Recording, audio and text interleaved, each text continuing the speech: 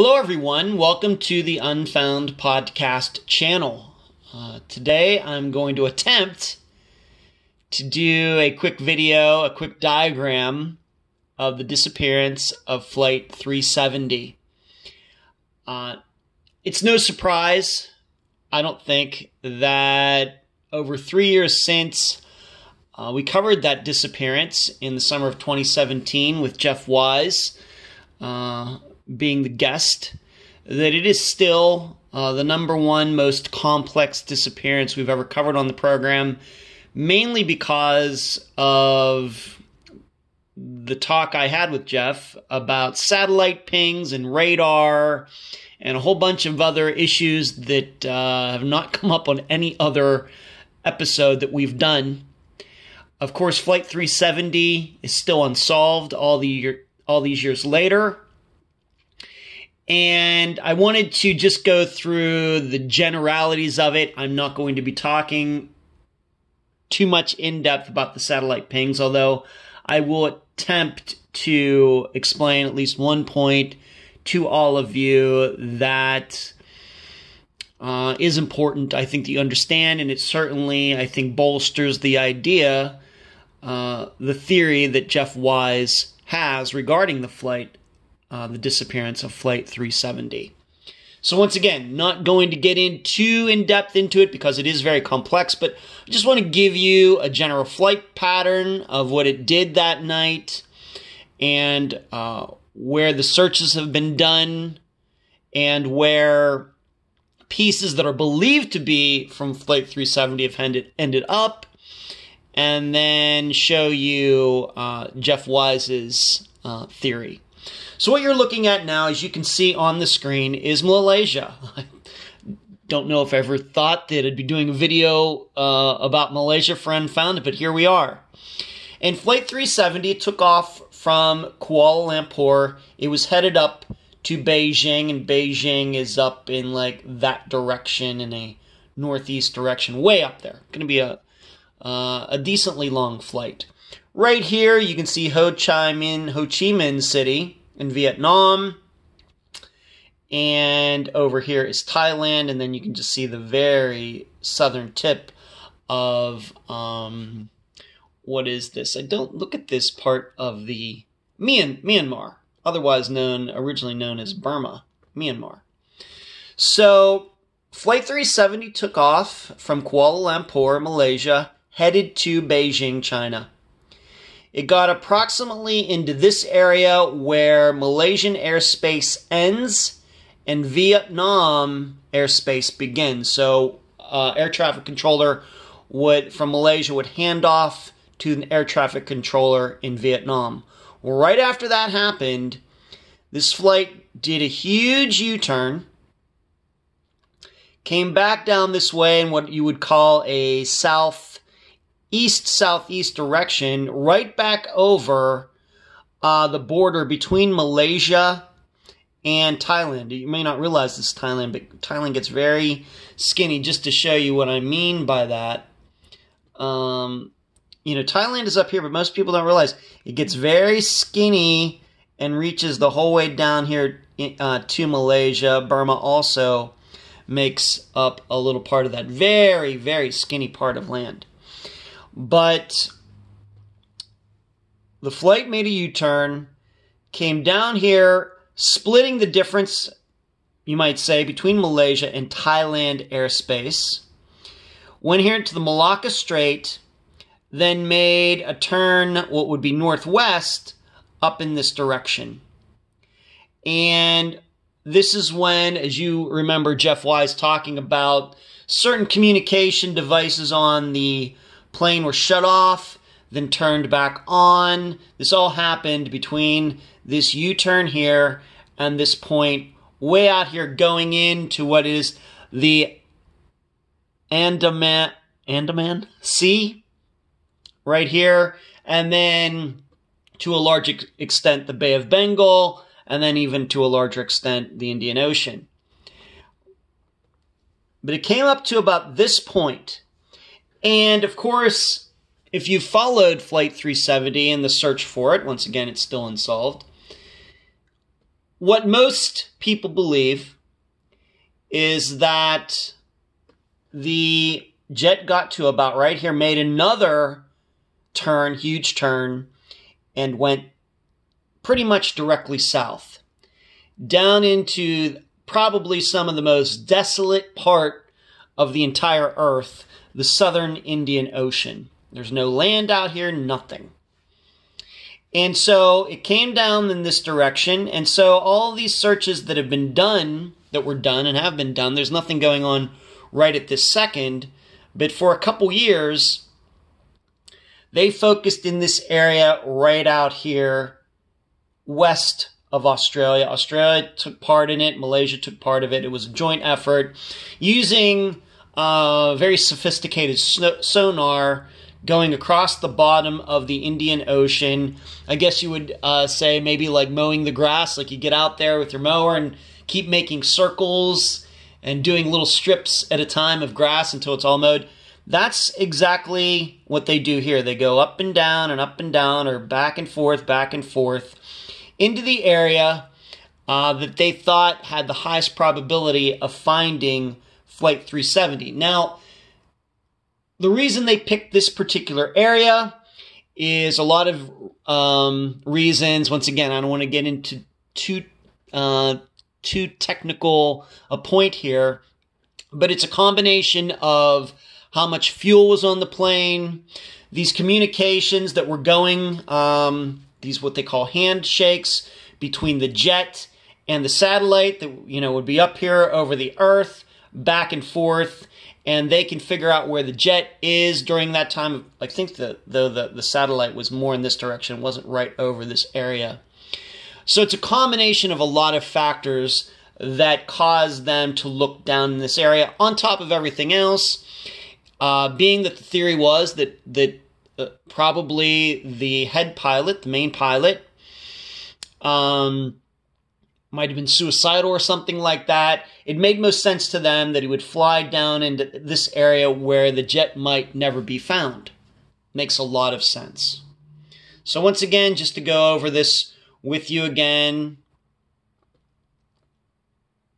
jet takes off from Kuala Lumpur is going up this direction, makes a U turn, comes across here, then makes another turn, goes up into here, and then allegedly goes down in a southern direction. And most people who are what you might call authorities on this uh, crash, or this disappearance, I should say, sorry, believe that the plane ended up in there, this area once again for a variety of reasons. However, Jeff Wise has a different theory. And uh, it's frankly a little more conspiratorial. And you know how I feel about conspiracies. But here's what I know the best experts, uh, some of the best experts on the earth, came to the conclusion that almost assuredly the jet would be found right in this area. That area has been searched and there is nothing there. Nothing there. So, I think we must entertain the idea that maybe Jeff Wise, and Jeff Wise has been saying this almost since day one, and he is an aviation expert. You, um, if you watch uh, the show Air Disasters, uh, he's been on there being interviewed. He is um, an aviation authority. Nobody doubts that.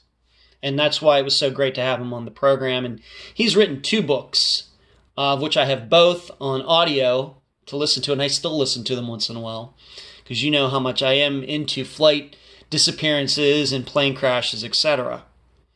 He's made a counter argument given some of the things that he suspects. We have to remember that the plane was headed up once again going down here, it was headed up in this direction. And he has said that what if it didn't really turn?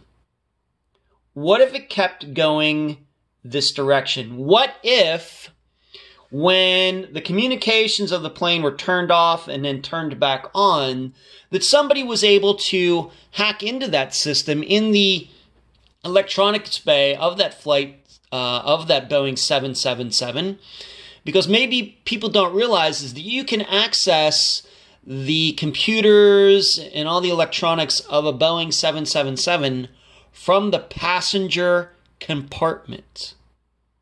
It's very rare on jets, but that is the situation. There's a little trap door right before you get to the cockpit door. It's, I'm guessing it's usually locked, but what if somebody could have climbed down in there and that person or people could take control of the jet away from the pilots in the cockpit, even though they have the controls. But all the electronics of everything that controls everything on a Boeing 777 is down underneath where you sit. And somebody could have gotten access to that. And what if these pings that showed the jet going down in the south direction um, were actually false? And given that the jet was headed up in this direction, in northwest direction anyway, maybe that's the direction that the jet went. And Jeff has said that it would be possible for if a jet would just to kind of once again split the difference between India and Bangladesh. We have to remember these was where the Himalayas are, so uh, radar uh, pinging is going to be very difficult anyway. We have some countries that don't have as sophisticated an air defense warning system like the United States.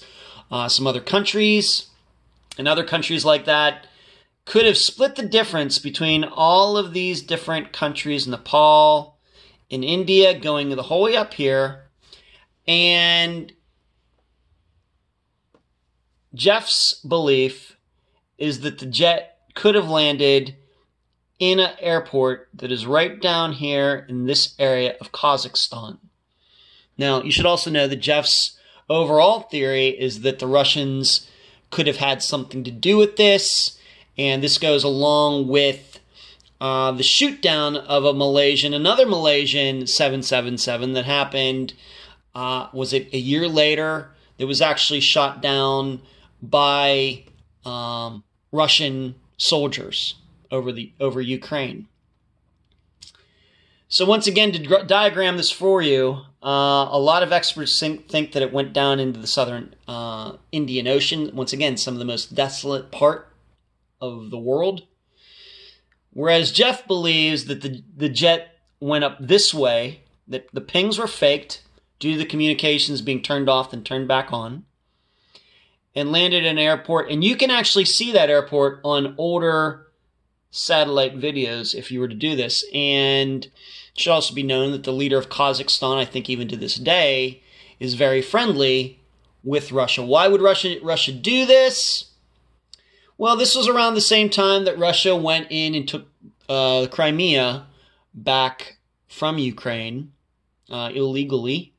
Um, was al- they were allowed to do that, and the hypothesis is that they had the ability to do this to kind of draw attention away from that going on. I'm not sure if I buy into that part of it, but um, what Jeff says about the, the technological side of Flight 370 makes sense to me. And once again, I've read everything there is to know about it. I've listened, I've listened to both of his books. I've read a lot of different uh, opinions on it, and his, his seems to make the most sense. And once again, he is the only person, at least authority, who continues to be correct that he didn't believe that the, the jet would be found down here in the southern Indian Ocean. Everybody else said it would be, but it wasn't. Now, let's not forget, though, that some parts that are allegedly of Flight 370, let me zoom out here a little bit, have been found over in this part of the uh, Indian Ocean on the eastern side of Africa, Madagascar. What do we to, what are we to think of that? Well, first of all, you have to remember that there is one guy in particular who has seemed to have found an inordinate amount of these these pieces compared to everybody else who has been looking for them. That uh, first is a bit suspicious. In addition, if you were to go to Jeff Wise's website, jeffwise.net, you will find extensive articles uh, about the analysis of those um, pieces from some some type of plane because these pieces do have living organisms on them that that um, live in the Indian Ocean, will latch on to solid objects and breed. And the conclusion that uh, Jeff has come to with the help, he's not, of course, a, a biology professor, but people who um, are experts in that is that the living organisms that have been found on these parts of a plane that have ended up in the area, in this area of the world, do not match up with pieces that would have drifted from this area where everybody believes, mostly everybody believes the jet would have crashed. It just doesn't match up. It you could say possibly that these pieces of a jet were planted somewhere. Maybe somebody dumped them out here and they um, floated over there to the east side of Africa. It just doesn't seem that these organisms, the way they developed on these pieces, um, different pieces of some type of jet, show signs that they were in the Indian Ocean as long as it would have been taken to get from this area over to here. Up for you to decide upon on all of that, but like I said, this is um, one of the most. Uh, this is the com- most complex disappearance that we've ever covered on the program. Uh, the and it's the most watched video here already on YouTube. The original interview I did with Jeff. Um, I think before uh, Natasha redid all the videos with my permission. Of course, we lost a lot of views. They went back to zero in most cases, and that's fine. I think that uh, I think that the Flight 370 video had over 100,000 views or something on it, some crazy uh, a number of views of that particular video. But what's interesting is when I did that uh, episode uh, in the summer of 2017, as far as from a download standpoint, was not that popular. Uh, I think that you, the audience, uh, prefer more, I guess, more personal stories. No, pro- I have no problem with that. But for the public as a whole, for the world, um, Flight 370 has dwarfed all of the other downloads or views on YouTube on the Unfound podcast channel. It's funny how that works. But um, do I believe that Flight 370 will eventually f- be found? I do, because I don't think Jeff and other people are going to give up looking for it. Now, if it really did end up in Kazakhstan and landed there, and these people were, I don't know, murdered or put in a jail and they're still there and it's all hush hush. It's probably going to take some work to prove that. But Jeff's theory uh, still is very viable in my mind, and I continue to support him, uh, given that uh, he's definitely in the minority with his views. So there you go. Uh, a very rudimentary, very general explanation for the disappearance of Flight 370. Hope you enjoyed it. Thanks for watching.